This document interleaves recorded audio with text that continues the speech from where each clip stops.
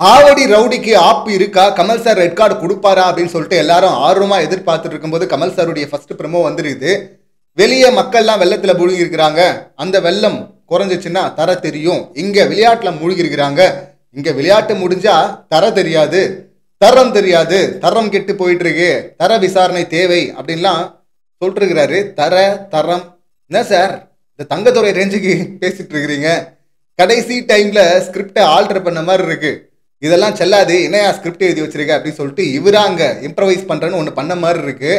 Sir ஏன் அப்படி வளர்றீங்க இங்கே சேனலுக்கும் இவருக்கும் முன்னாடி ஹீட்டடாக ஆர்குமெண்ட் போச்சா அப்படிங்கிற அந்த டவுட்டும் நமக்கு வருது. சேனல் சைட்லேருந்து ரொம்ப கிளியராக இருக்கிறாங்க. ரெட் கார்ட்லாம் கிடையாது அப்படின்னு சொல்லிட்டு நேத்தே தகவல்லாம் பார்த்தீங்கன்னா வெளியே கசிஞ்சது.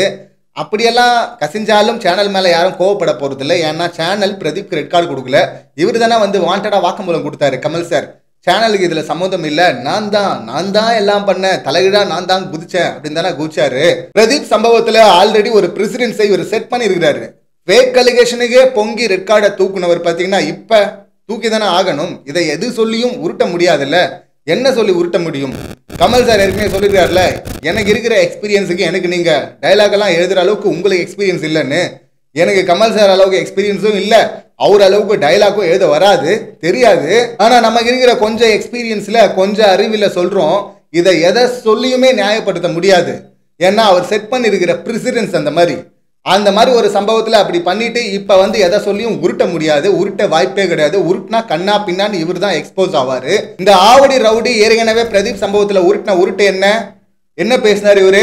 சார் இது மாதிரி தப்பா பேசுறாருன்னு சொன்னாலும் சார் எங்க மக்கள் இப்படிதான் பேசுவாங்க என் மக்கள் கிட்ட நான் இப்படிதான் பேசுவேன் அப்படின்னு சொல்லிட்டு அடம் பிடிக்கிறாரு சார் அதை நியாயப்படுத்துறாரு சார். அப்படின்லாம் சொல்லிச்சு இல்லை இந்த வாய். அந்த வாய் இப்ப என்ன சொல்லுது? இந்த சம்பவத்துல ஆமா நான் அப்படிதான் பேசுவேன் எங்க ஃப்ரெண்ட்ஸ் கிட்ட நான் அப்படிதான் பேசுவேன் எங்க இடத்துல நான் அப்படிதான் பேசுவேன் அப்படின்னு சொல்லிட்டு அதையே நியாயப்படுத்துறான். கேஸை வாங்கிட்டு நான் வெளியே போறேன் அப்படின்னு சொல்லிட்டு அதே டைலாக்கை இவன் ரிப்பீட் பண்ணிருக்கிறான். எல்லாத்துக்கும் மேல அவர் டாஸ்க்ல தான் அப்படி பண்ணலாமா அப்படின்னு கேட்டாரு. இவன் நேரடியா மிரட்டல் விட்டுருக்கான் கொலை மிரட்டல் அது. அதுவும் ஒருத்தரை பார்த்து இல்ல கோவத்துல கத்திட்டு எல்லார பார்த்தும் விட்டுருக்கிறான்.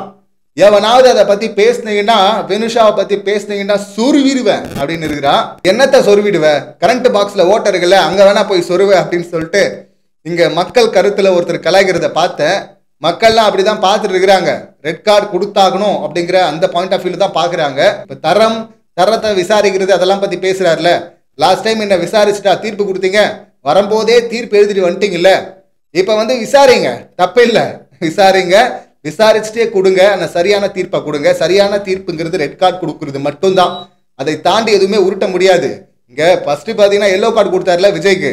என் பசங்க வெளியே சம்பவம் பண்ணுவாங்க அப்படின்னு சொன்னதுக்கு எல்லோ கார்டு கொடுத்தாரு. இங்கே நேரடியாக இவன் கொலை மிரட்டல் விடுத்திருக்கிறான் மற்ற கண்டஸ்டன்ட்டுக்கு இங்குதான் unsafe women safety men safety அப்படின்னு சொல்லிட்டு பொங்கி இருக்கணும் தாங்கள் ப்ராக்ரஸிவானவங்க மற்றவங்கலாம் ரிக்ரஸிவானவங்க அப்படின்னு சொல்லிட்டு உருட்டுறாங்களே அந்த உருட்டுகள். அவங்க எல்லாம் பொங்கி இருக்கணும் ஆனா இங்க வந்து முட்டு கொடுத்துட்டு இருக்காங்க இவனுக்கு.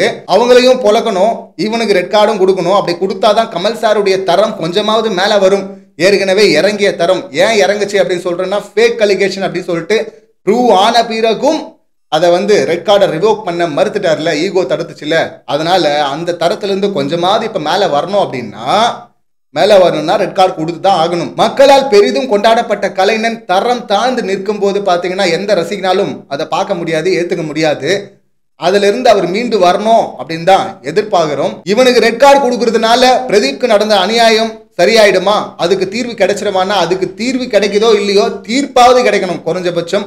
ஸோ அந்த தீர்ப்பு ரெட் கார்டு தீர்ப்பாக தான் இருக்கணும். இல்லை இல்லை இல்லை நான் கொடுக்க மாட்டேன். நான் உருட்டுவேன். நல்லாவே உருட்டுவேன் அப்படின்னு உருட்டினாருன்னா அப்புறம் ஒன்றும் சொல்கிறதுக்கு இல்லை.